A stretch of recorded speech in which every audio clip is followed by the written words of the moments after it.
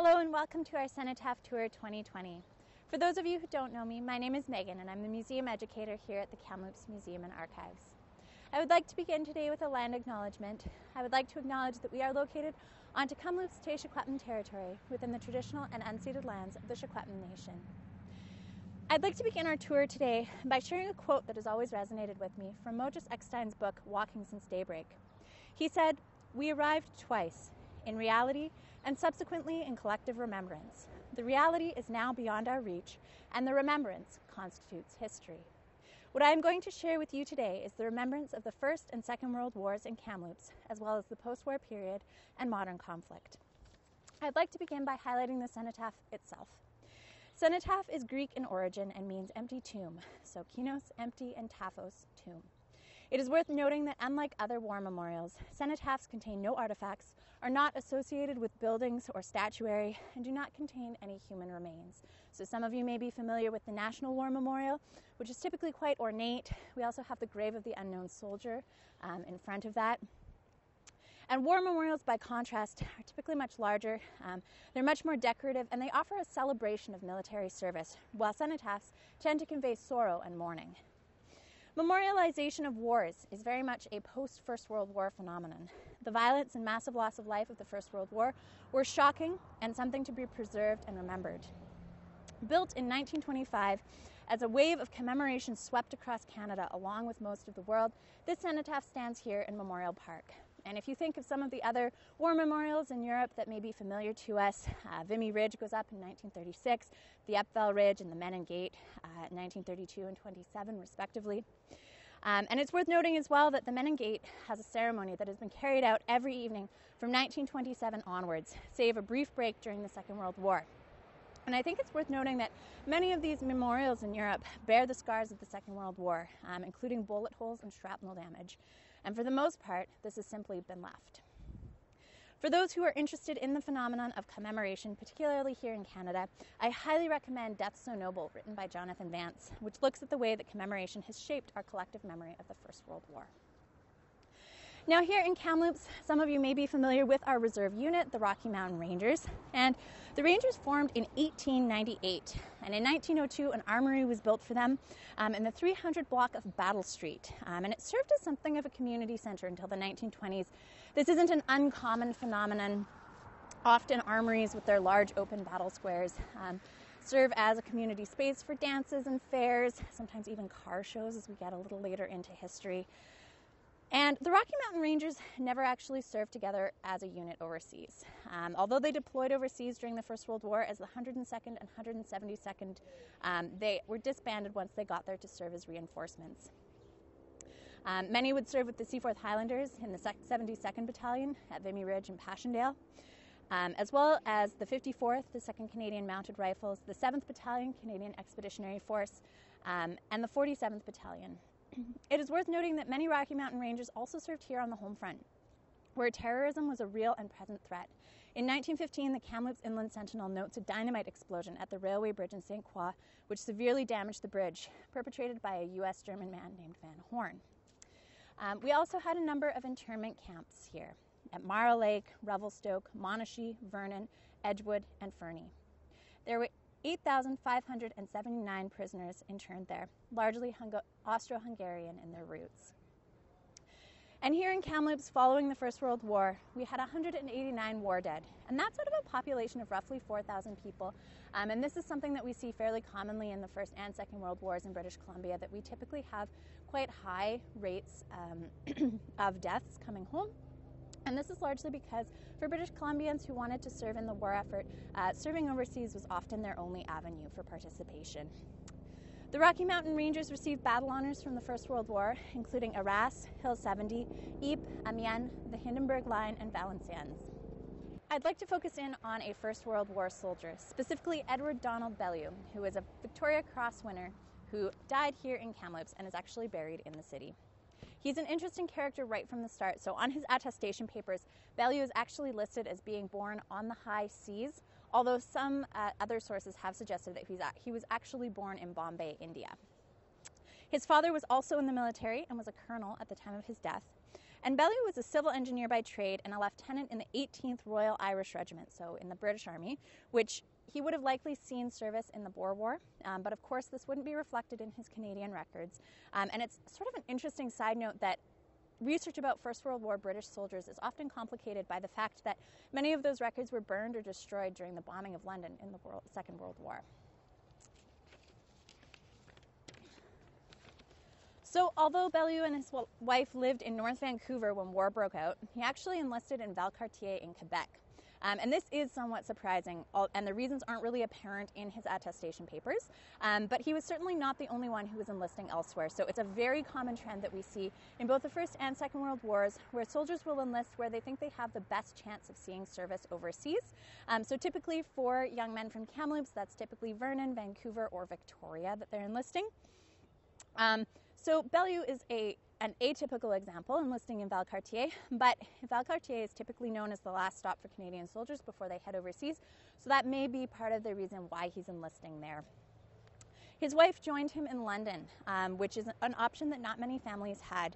And I think it's worth noting that during both the First and Second World Wars, one of the stories that's typically untold is that of women on the home front who are struggling to make ends meet, um, and men who are leaving well paying jobs in order to serve.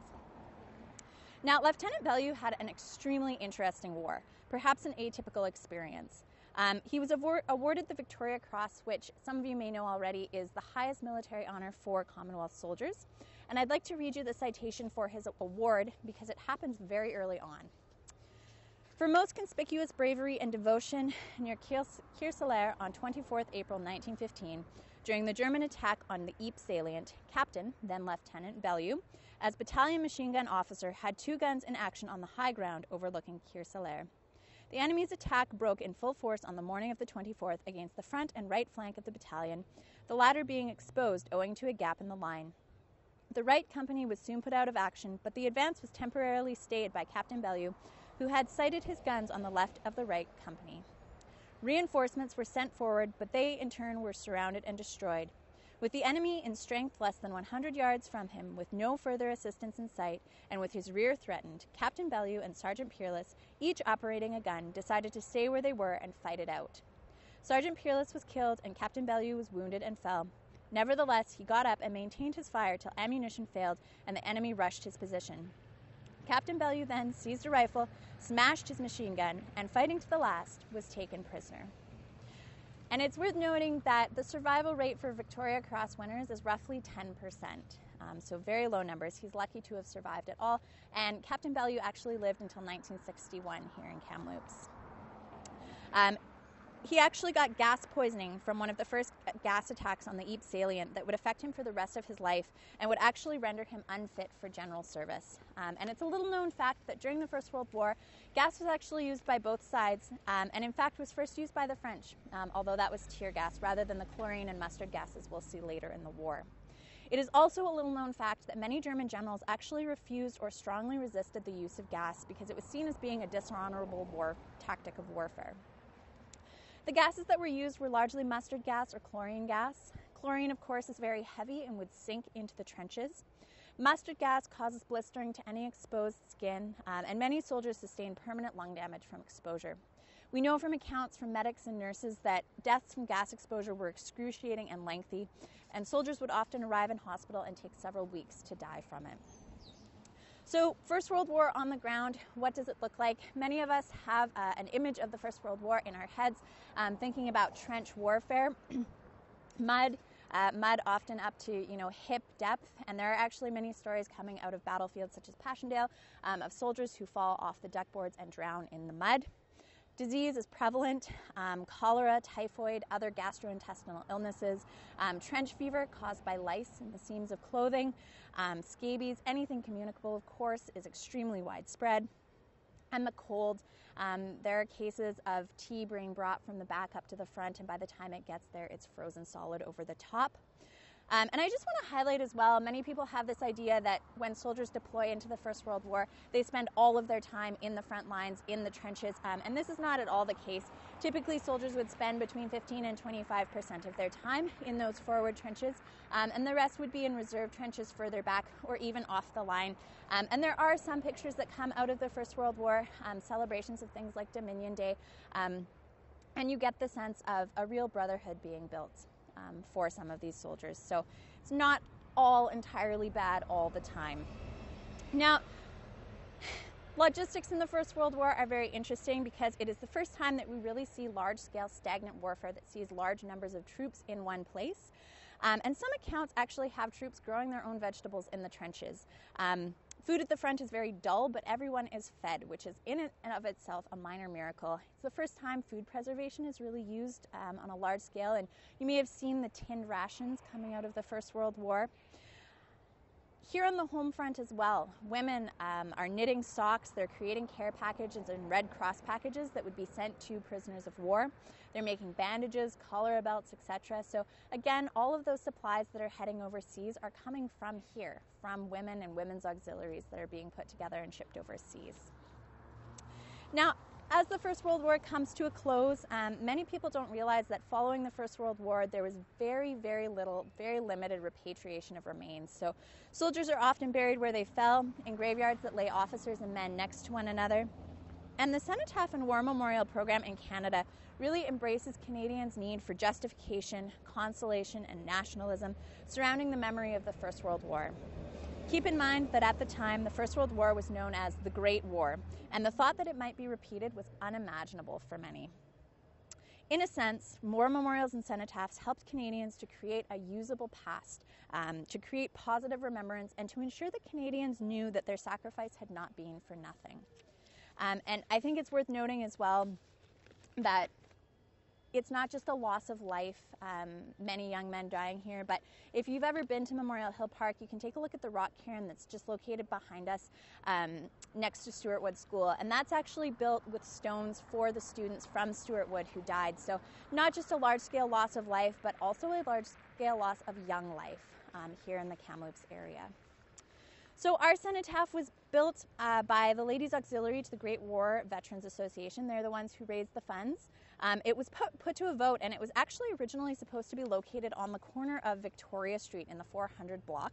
Um, but business owners feared that the memorial would create heavy traffic and impede access to shops. Um, and if you've been to our Remembrance Day ceremonies, um, I would argue that they are likely correct.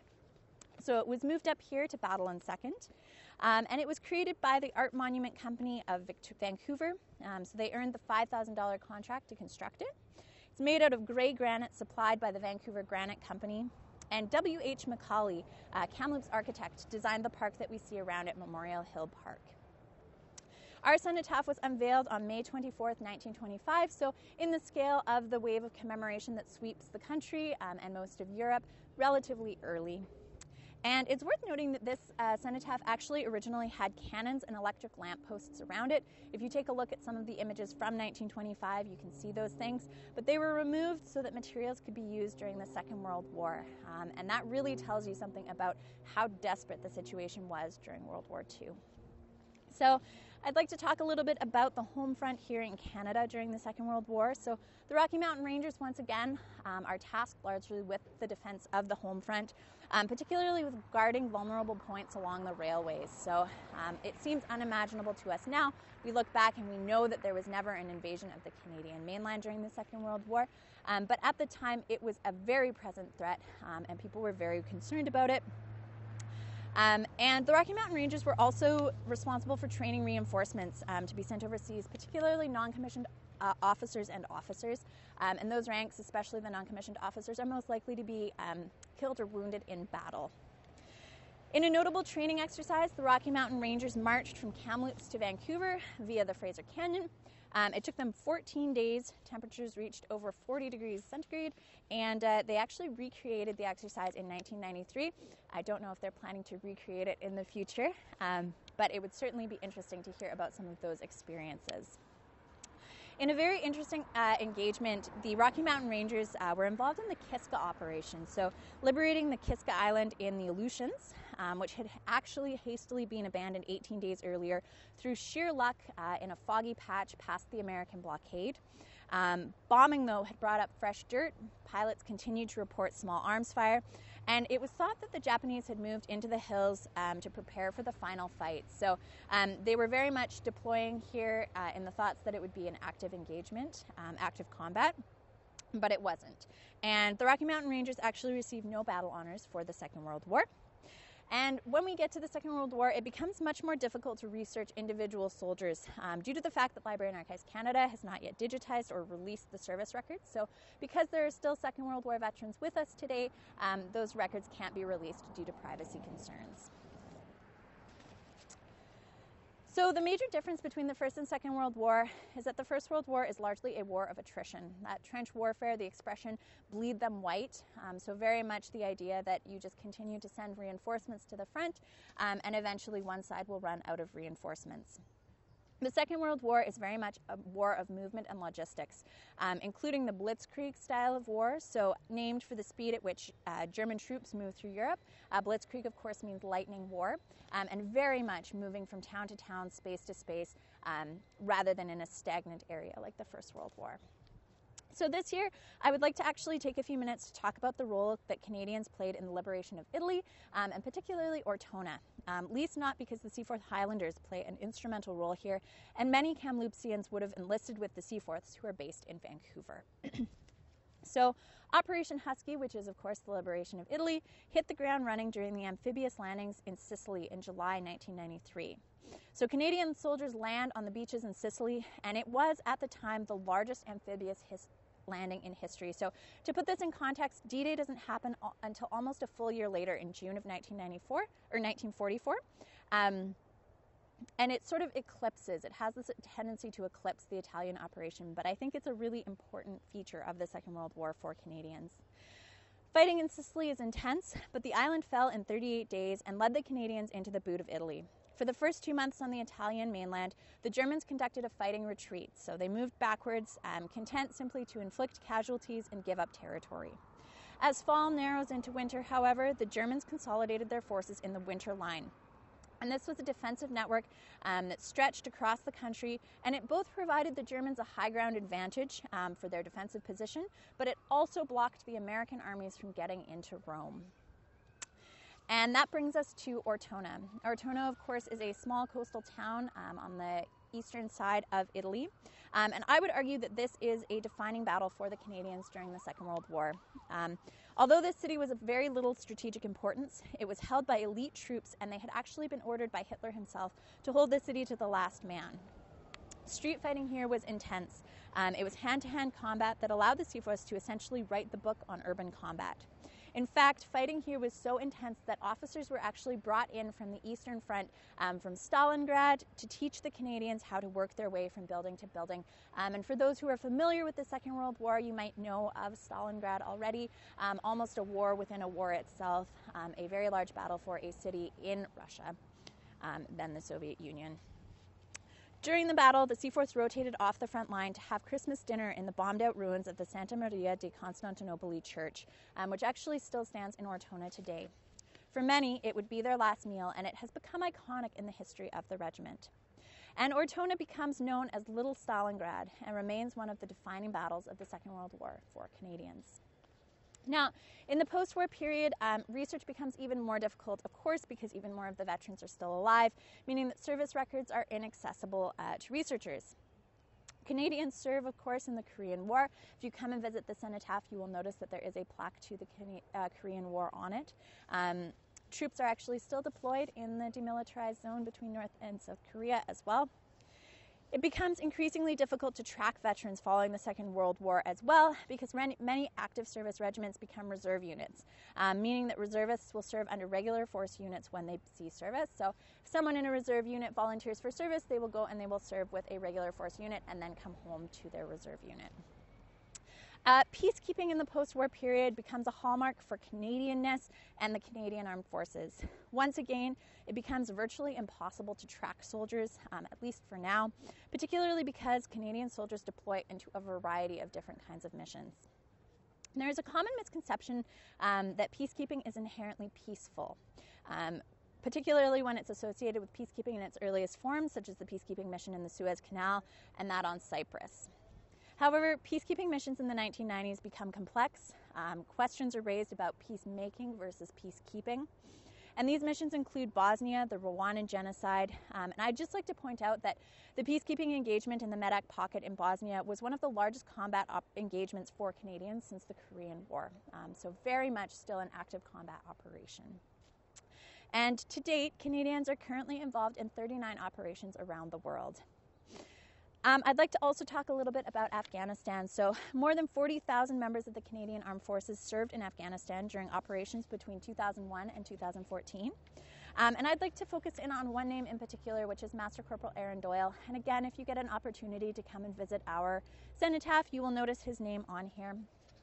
Uh, Master Corporal Doyle was born in 1976 in Maple Ridge, but grew up in Kamloops. Um, he enlisted in 1998 and he was known to his friends as being a funny, outgoing guy who loved to play pranks and generally cause trouble. Um, he was afraid of heights, bees, and pretty much nothing else. And hopes for the future included becoming a search and rescue technician before retiring to Valemount with his wife Nicole and pumping gas. Um, and he was killed in action on August 11th, 2008. Um, and for those of you who might be interested in Master Corporal Doyle, I highly recommend checking out uh, the Legion article about him. It's a really beautiful article and a really compelling read. So thank you so much for joining me, um, and hopefully you'll have a chance to come and visit the cenotaph yourself, and we'll see you next year.